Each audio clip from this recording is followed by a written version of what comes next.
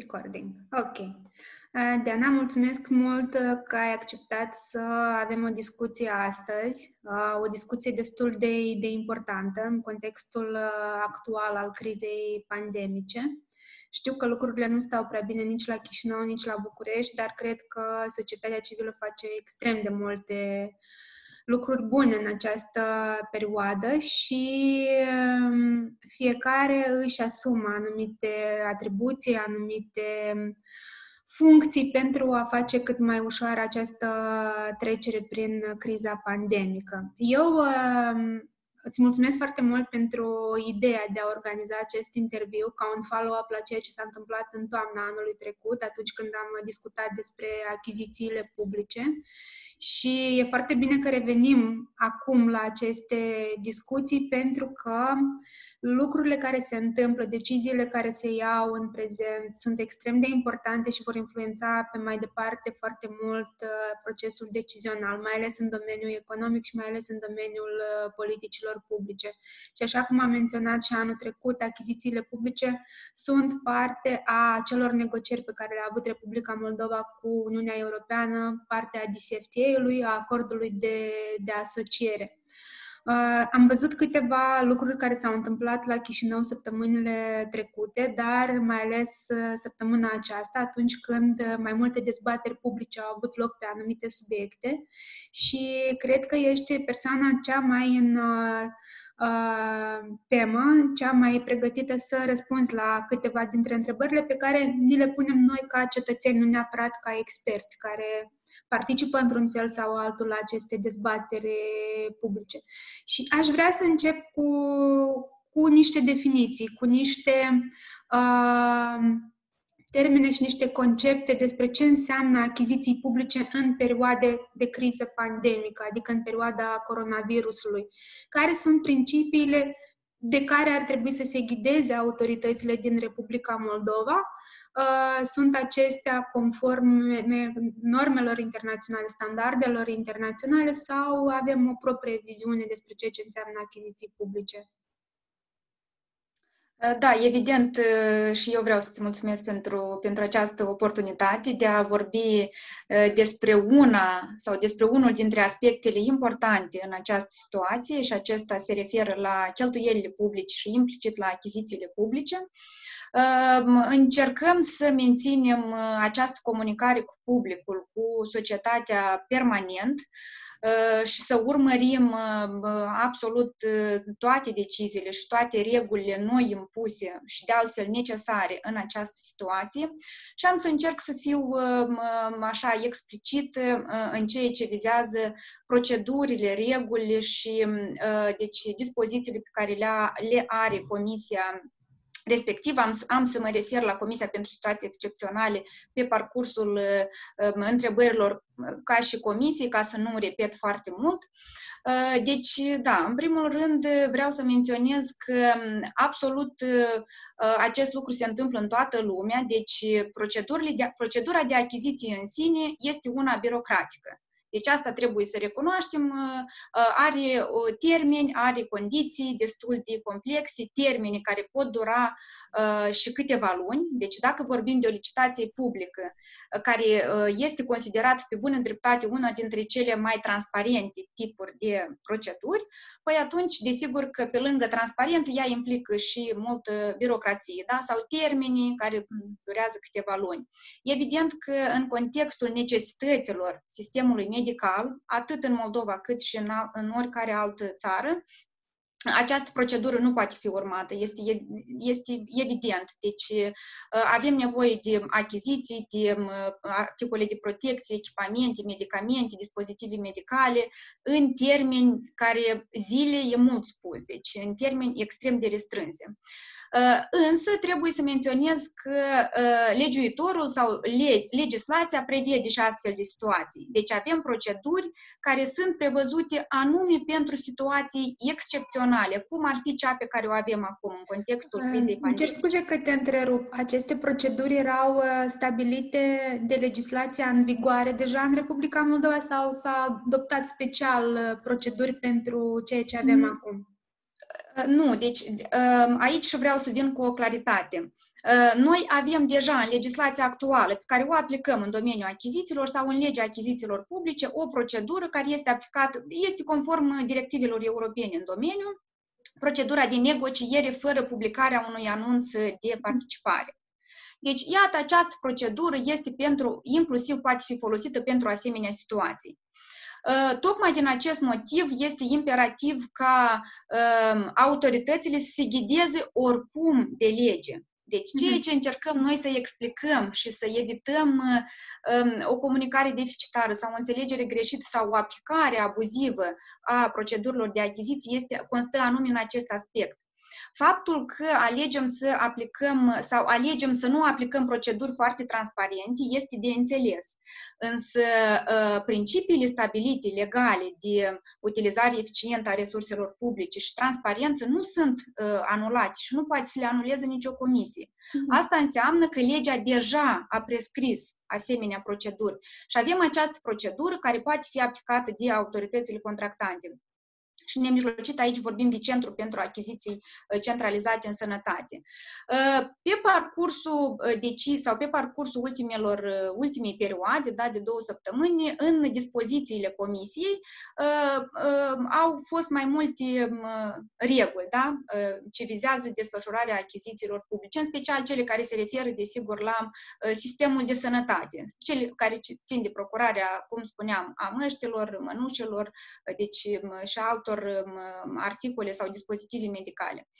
Uh, însă, uh, ele ne-au trezit cumva mai multe um, așa nedumeriri. Uh, în primul rând, cum ziceam, a fost într-adevăr specificat în una din decizii că se va utiliza sau Centrul pentru Achiziții în Sănătate va utiliza procedura de negociere fără publicare. Însă mai sunt și alte, deci, um, cumva, puncte care anume ă, deci, menționează că prin derogare de la legea achizițiilor publice, deci centrul respectiv va aplica, ă, va procura, de exemplu, combinezoane de protecție sau alte articole. Aici, tocmai aici aș vrea să menționez că pe asta și, asta și trebuie de subliniat, că nu trebuie să eludăm legea, dar trebuie să aplicăm procedurile deja prescrise de lege în asemenea situații.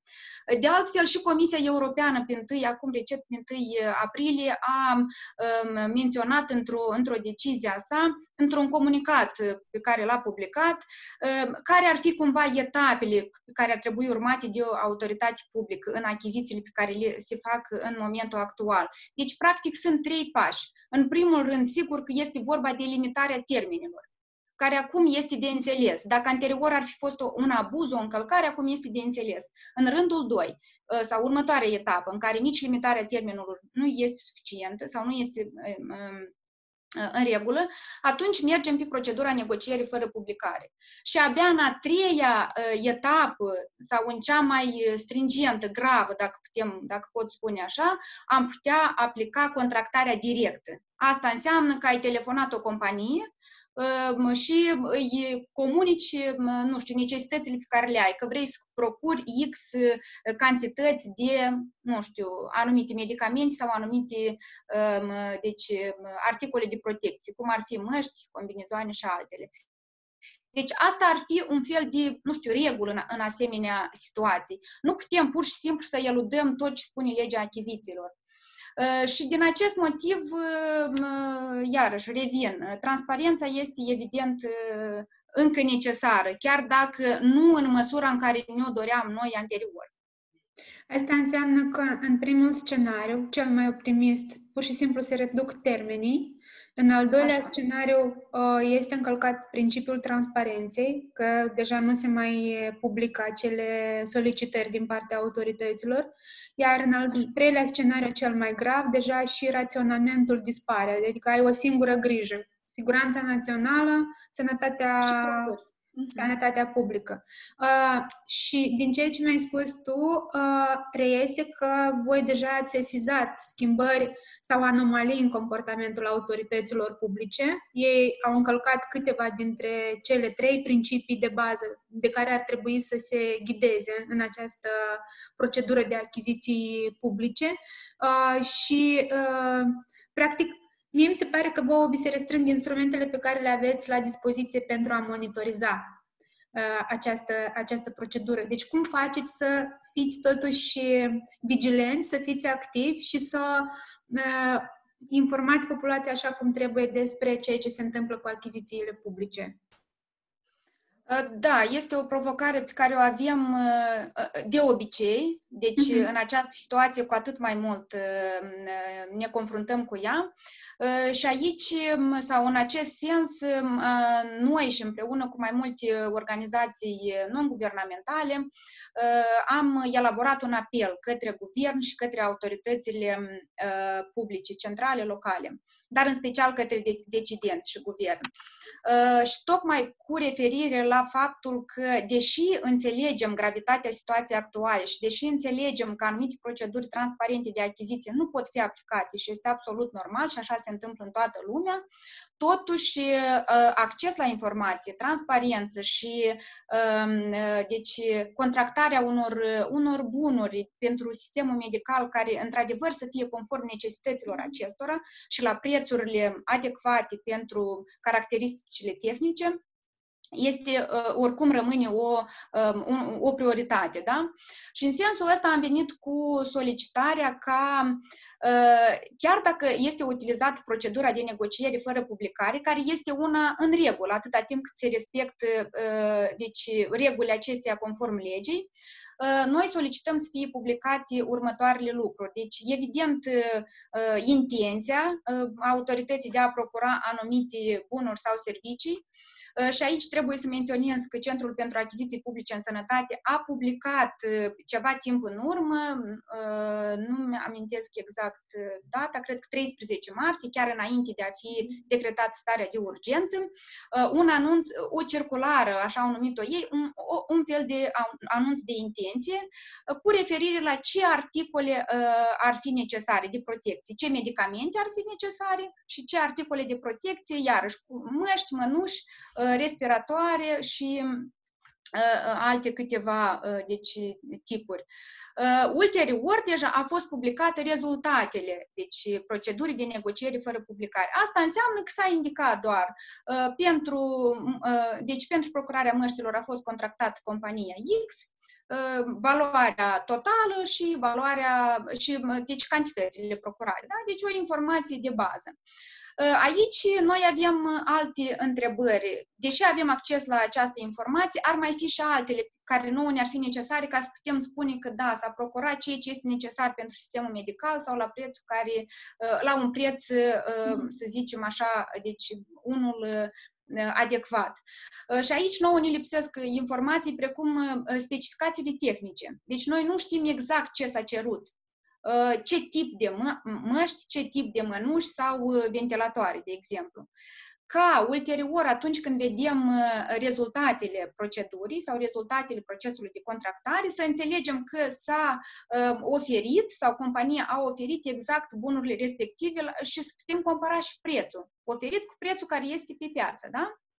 Asta în înseamnă, acest sens, dar asta este doar o idee, asta înseamnă că ei puteau să achiziționeze Ă, tehnică medicală care nu corespunde standardelor din spitalele noastre. Exact, exact. Care nu au fost conform, da, care nu este conform necesităților ă, instituțiilor medicale și medicilor, evident. Uh-huh. Asta este un, un, un aspect extrem de important la care noi am încercat să atragem atenția și să solicităm publicarea acestora. Ori, acesta nu implică un efort, un extra efort din partea autorității.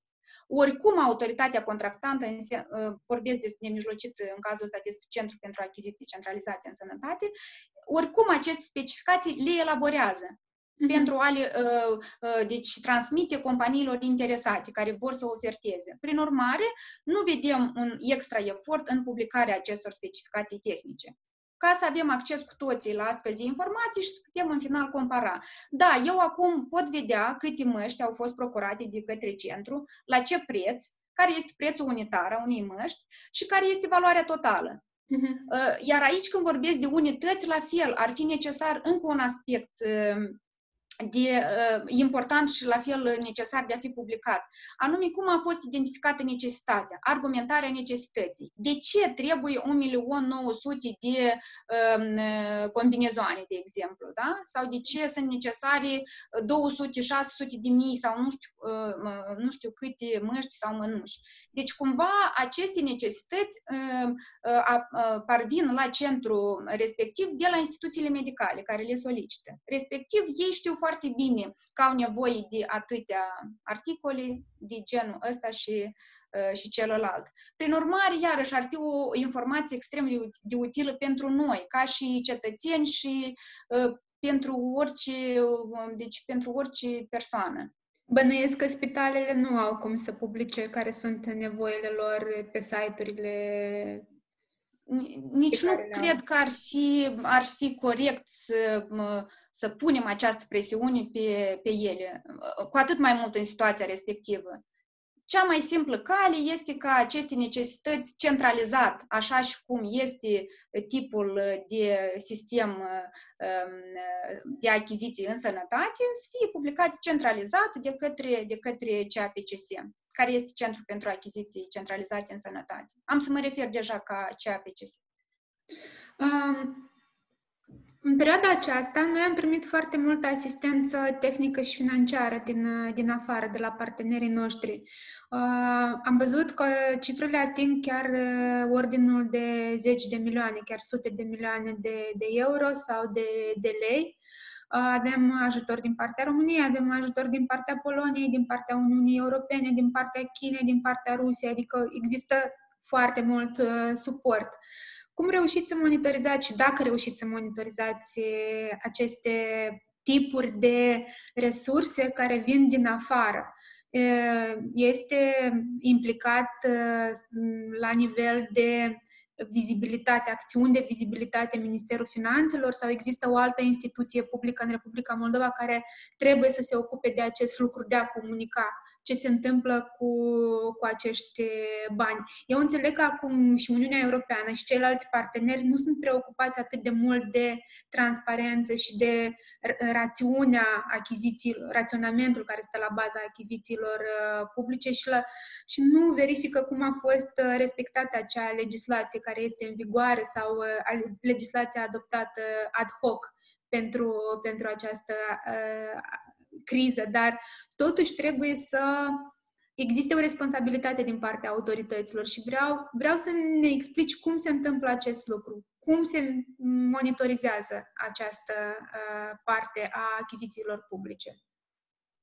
Da, de fapt aceasta este o altă componentă, dacă putem spune. Bine, sigur că este în direct legătură și cu sistemul de achiziții publice, dar oarecum este o altă componentă, deoarece sunt resurse care vin prin alte instrumente, pe altă cale, deci nu sunt resurse bugetare, așa, la, vorbind de, din punct de vedere tehnic. Uh-huh. Însă, pe de altă parte, bineînțeles că uh, aceste sume care vin de asemenea în, în conturile cumva autorităților noastre publice și sunt utilizate pentru necesitățile naționale, la nivel național, evident trebuie la fel monitorizate.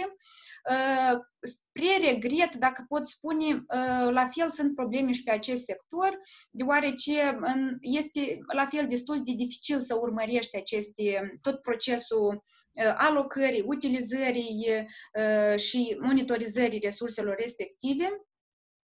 Din câte înțeleg, auto, sau cel puțin ar fi normal ca, ca o practică să fie utilizat oricum sistemul de achiziții sau cel puțin aceeași procedură cum este utilizat și pentru achiziționarea din sursele bugetare sau din sursele publice naționale, mi se pare cea mai potrivită abordare, dacă, dacă vreți.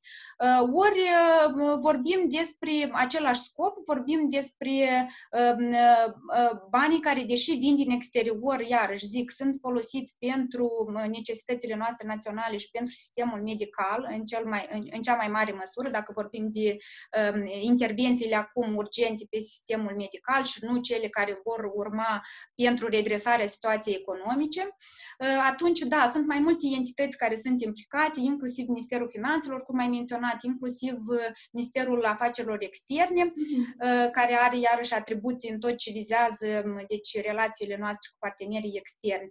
Și aici, iarăși, sunt practic aceleași provocări ca și în, în sistemul achizițiilor, și anume accesul la date și accesul la date uh, în procesul ăsta de, de utilizare a resurselor.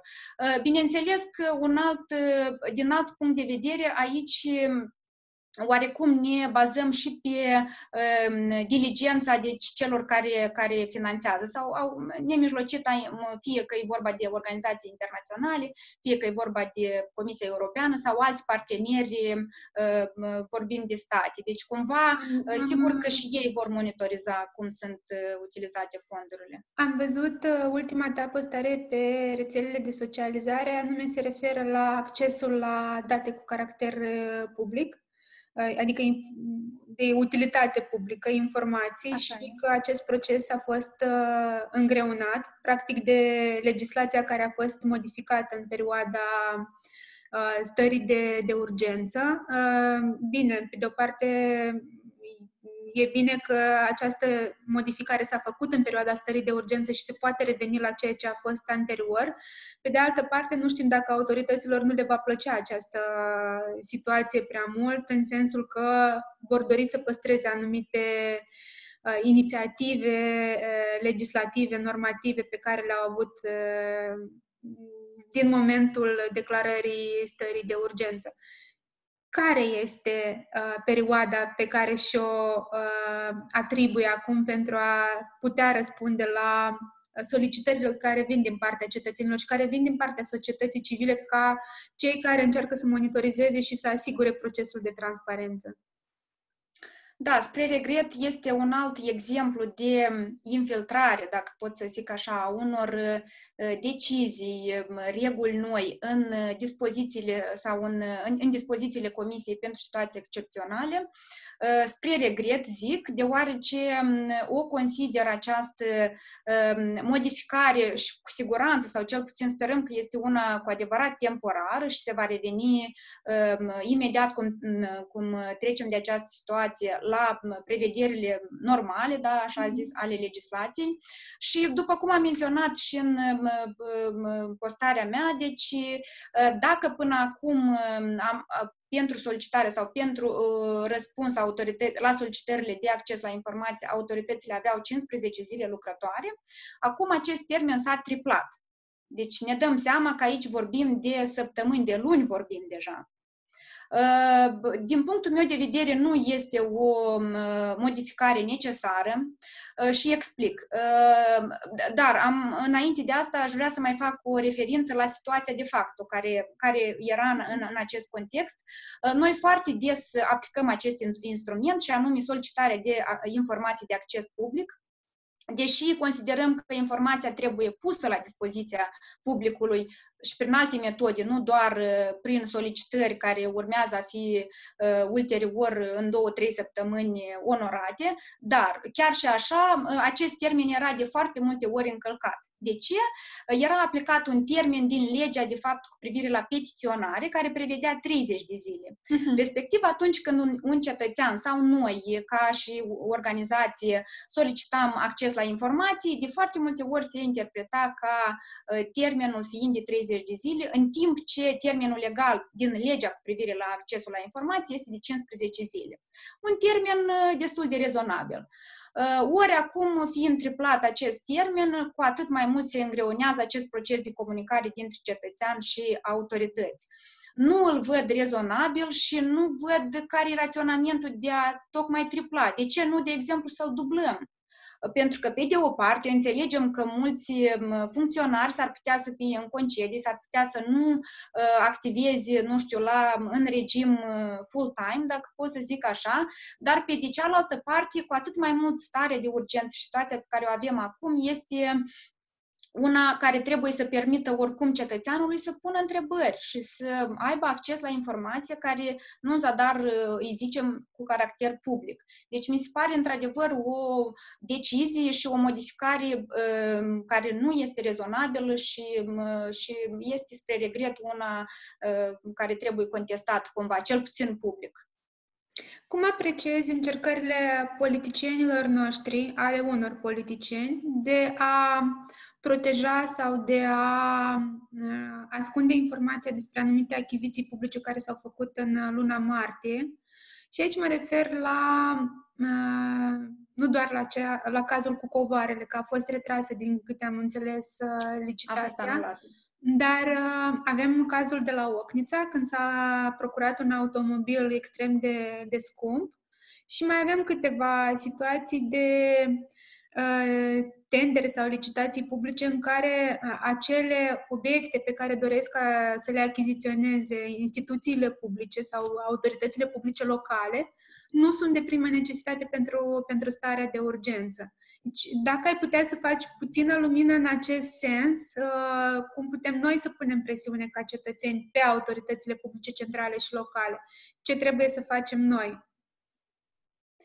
Uh, da, uh, sunt câteva cazuri deja monitorizate. În realitate, cu siguranță sunt mai multe, însă cumva și noi lucrăm uh, la turații maxime, deși din, de acasă, oricum încercăm să monitorizăm tot ce se întâmplă, inclusiv în sistemul electronic de achiziții publice. Iar exemplul pe care l-ai, l-ai dat chiar acum vis-a-vis de procurarea automobilului, unui automobil în valoare de, atenție, 30.000 de euro, de către o autoritate raională, mi se pare un abuz indiferent de, de mhm. situație. Fie că vorbim de stare excepțională curentă, fie că ne-am aflat în condiții ordinare. Deci să procuri un astfel de automobil ca să nu-i zic, nu știu dacă este chiar de lux, că nu sunt specialist în domeniu, dar cu siguranță este de o clasă superioară, uh, să cumperi un asemenea automobil din bugetul local, uh, atunci când uh, cu siguranță nu toate spitalele, școlile și alte instituțiile locale sunt dotate cu toate necesitățile cetățenilor propriu-zise, Uh, sau în condițiile în care salariul mediu este de circa 400 de euro în țară, mi se pare acesta un abuz, indiferent de, de situația de care vorbim. Dar cu atât mai mult în condițiile actuale, această achiziție nu ar trebui să aibă loc. Indiferent, aici vreau să subliniez, indiferent dacă a fost planificată sau nu, uh, deoarece am văzut în, în informațiile publicate de mass media argumentele autorității respective, Consiliul Raional Ocnița, acum că această, această achiziție ar fi fost fost uh, planificată încă pentru luna noiembrie sau decembrie, că nici ei nu știu exact, uh, a anului trecut. Uh, respectiv, nici acesta nu e un argument, pentru că chiar nu este cazul să, să facem astfel de achiziții care nu sunt nici prioritare, nici importante în asemenea condiții. Mai mult decât atât, aici, probabil, dacă tot venim cu, cu critici, ar fi bine să dăm și niște exemple de, de bune practici. Ori sunt alte autorități raionale care în aceste momente au realocat resurse pentru achiziționarea unor aparate de ventilat, extrem de necesare în situația sau în criza pandemică în care ne aflăm. Spre regret, iată alte, și aici am să dau exemplu chiar din același material publicat în mass media, cum ar fi, de exemplu, autoritățile raionale din Hâncești sau Cahul. Prin urmare, întrebarea mea la Consiliul Raional Ocnița ar fi următoarea. Dacă cetățenii au fost de acord cu această prioritate atunci când au planificat achiziția respectivă, mm-hmm. chiar dacă aceasta era în anul 2019, și a doua întrebare ar fi dacă ei au, de exemplu, aparate de ventilat suficiente în raion Taiwan în cazul în care pandemia va uh, atinge cote mai înalte, ceea ce de altfel prognozează și experții în sănătate.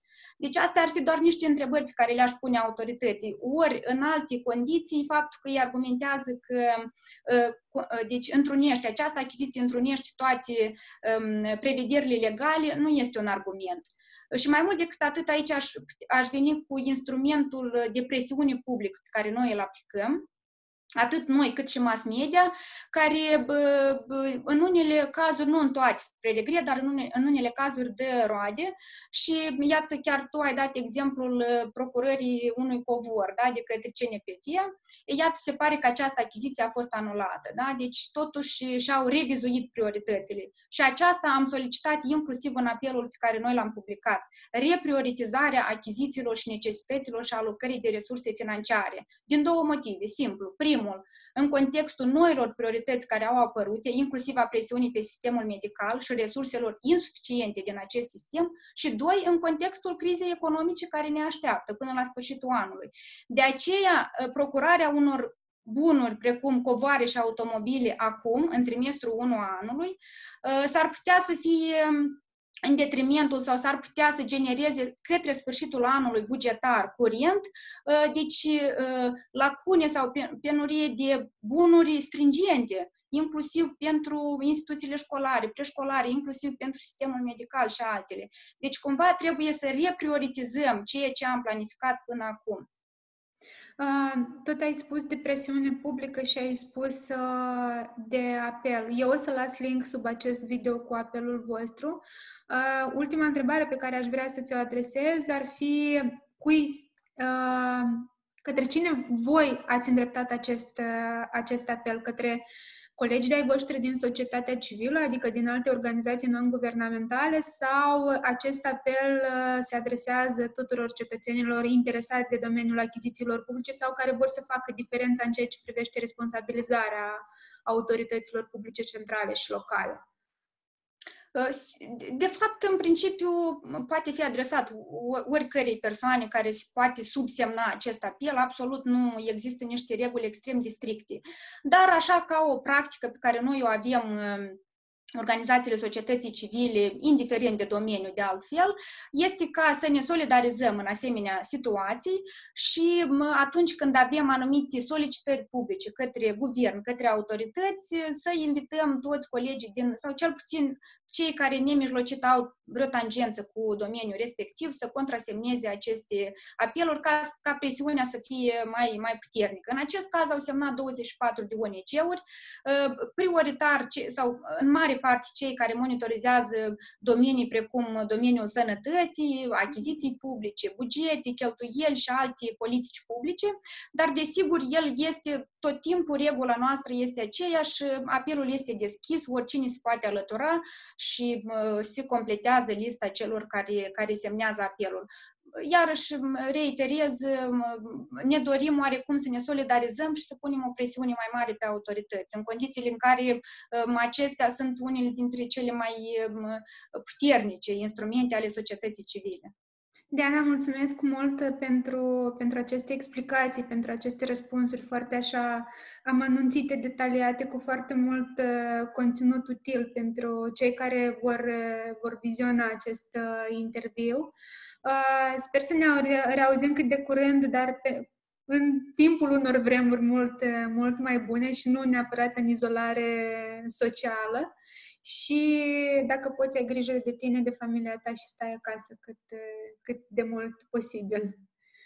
Îți mulțumesc foarte mult, Angela, și mă fac uh, acum pe această cale și un apel către, uh, către noi toți, de altfel către toți cetățenii, să fim vigilenți. Pe lângă faptul că stăm acasă, să încercăm să urmărim ce fac autoritățile, indiferent de domeniul nostru de activitate.